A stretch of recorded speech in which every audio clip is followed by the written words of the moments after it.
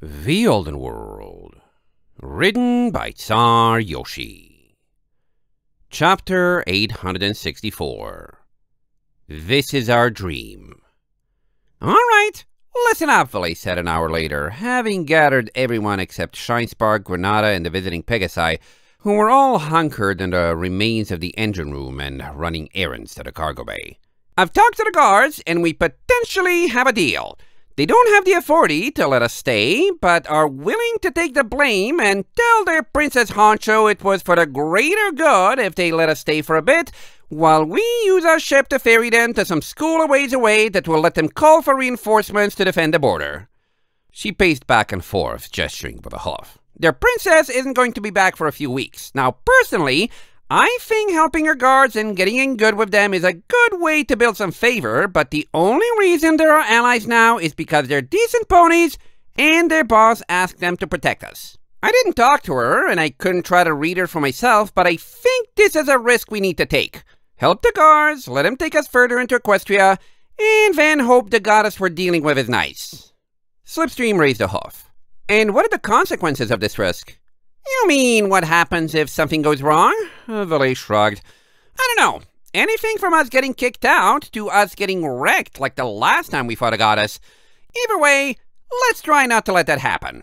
The bigger question is what would cause something to go wrong, and there's exactly one thing I'm worried about.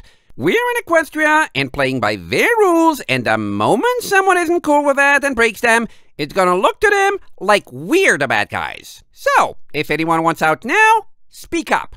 I can ask them to take you back across the border or something. That's us, Neonova called from the back row. Maple shot him the only grateful look she had ever dared to give him. Valet folded her forelegs, scanning the crowd. And is anyone else, right off the bat, not cool with following their rules? Her eyes found the Jamjars, who had an impish look on her face. Oh, yeah? Valet pointed a hoof. And how about you? What rules? Just to clarify. Jamjars flipped her mane. Valet sighed. Number one, everything they say goes, period. They get to make up new rules, and we get to deal with them like it or not. Two, we don't go wandering off without writs of harmonic sanction. We stick together and don't make trouble for them. They've already laid that one down. Three, I want them on our side, so if it turns out someone does cause trouble for them, please don't make me choose whether to bail you out or try to save the situation. Please. It's important to note, Gerardo added from the side, we don't know precisely what deal Princess Celestia was preparing to offer us, but, at the very least, we do have two writs as a last-minute contingency for what they may be worth. Yeah, Valet pointed huff. Anyone who's already got permission to be here shouldn't need to be worried. That's Starlight, Saffron, she sighed, and you two. Meltdown nodded, seated and trying to look small. Gazelle was as blank as ever, an occasional tremble running through his shoulders. And two more of our choice, Maple whispered. Do you think the land title we have would help at all? That I got from Gershiva? Honestly, Valet shrugged. If we really did get in deep trouble, showing that off might just get it confiscated if you're not a citizen. Who knows? But if we got banned, would it even matter if it got stolen? Up to you what to do with it, but I wouldn't count on anything. Land title? Harshwater looked over her shoulder. What's this about? Uh, Maple smiled and winced. Valet, could you explain? Sure. Valet took a breath. I don't know why a lot of you are here, and I guess some of you don't either. Sometimes circumstance brought us together. Other times, there has been no good place to get off, or you don't have anywhere else to go if there was. The last phrase drew a small chorus of nods, particularly from Slipstream, Felicity, and Harshwater. Valet noted all of it. For me, at least, I've got a dream I've been chasing for a while now, on and off. I've gotten distracted a few times, especially with the tournament and the nightmare modules and everything else that's been happening, but getting Moonglassed and seeing how all of you have fared during the past few weeks has really brought it back to the front of my priorities list. I want a home. Her gaze drifted over the crowd, a small forest of pony ears punctuated by the occasional tufted pair or beaked face. My home for a while has been with you guys, flying around and traveling, and I'm definitely grateful, and no, there are a lot of worse places out there. But I know there's more that's out there. I want to settle down in one place where I can know more ponies than just the ones I hit it off with after one talk and decide to invite along. You guys are fabulous, but there's like a dozen of you, and most of you I don't even know that well. It's cozy, but I want bigger. And I know that's weird to say, like sailing the entire world somehow isn't big enough, but it's true. I want a place where I can put my hooves down and not have to worry about the first food place I walk into trying to either rob or poison me because of my wings and face. I want to feel like where I belong rather than I'm looking for somewhere I don't not belong. And that's where this comes in. She pointed a hoof at Maple. Ironflanks here has a thing that says she owns some land in Equestria that's right above a Tree of Harmony. If we built there and developed it, we could have a town on top of a power source that can run this airship. Some of us could settle down, and others could stay on the go, flying everywhere and seeing new things. I know some of us like this adventuring life, just for the sake of keeping moving. She nodded at Gerardo. And who knows? Having a harmonic flame nearby could help Sparky somehow in her dream of someday rebuilding Sosa. Valet stepped into the crowd, ponies parting to let her through until she was in front of Maple, Amber, and Starlight, the latter wearing a Riverfall rain poncho that covered her flanks. You three in particular, Valet said. I don't want to speak for you, but I will. Amber cleared her throat and spoke up. We had good lives in Riverfall, Maple and me, and we still have a lot of friends there. But even if we want to see Willow again, after what the town did to Maple and her house, we're done with them. We can't live there anymore. From the moment Starlight showed up, it was never going to work, and we choose her over a home that won't stand by us when we need it. It's not even a decision. She put a hoof over Starlight's back, and uh, a filly frowned at the memory. I left Equestria because there was no one left at my old home who understood who I wanted to be. I just want to live somewhere with all my friends and have the world leave me alone.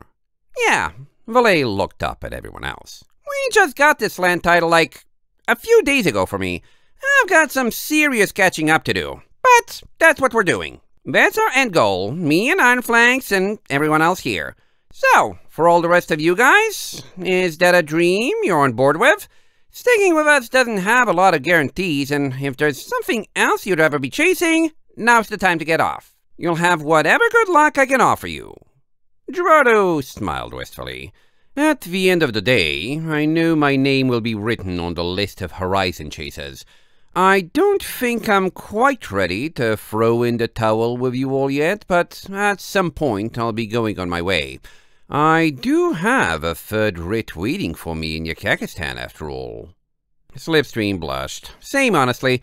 Scares and drama aside, I've enjoyed it here, but I originally joined for something new to do after my old job was destroyed and my prospects in Einrich suddenly lessened and...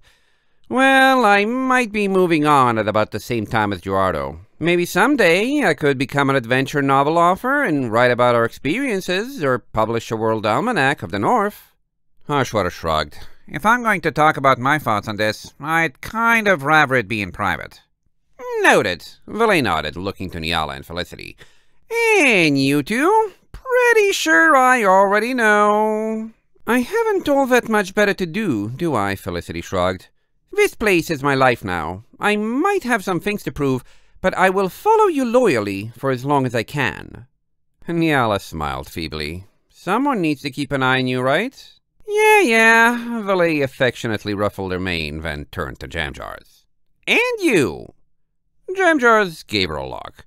I have places to be and things to take care of. If sticking with you and following your rules will get me rid of harmonic sanction, I will be friendly, studious, and keep peeling you out when you need me. Valet narrowed her eyes.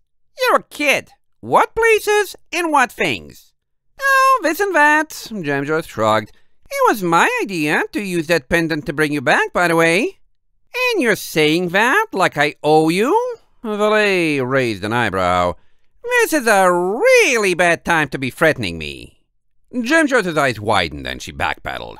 No, no, I'm saying it like I came up with it. Like I'm smart. The point is, I know how to make my own goals and plans, and they're usually helpful to everyone. Trust me, I've got things to do, and I'm smart enough not to get you all in trouble for it. Valet pursed her lips. I'm gonna need some proof. Collateral? Jamjars asked hopefully. Uh, Valet sighed. Giving back Sparky's room would be a nice start since we're going to be low on space with a pile of guards on the ship and it's the biggest room we have. You want to show you're helping us and not going to use us for personal gain? Prove it by not taking spoils. Fine, Jamjar slumped. But you're getting someone to help me move all my things back. I just finished setting up my posters again. Harshwater looked skeptically at the exchange. Are you really alright with this? Valet stood, ignoring Jamjars again.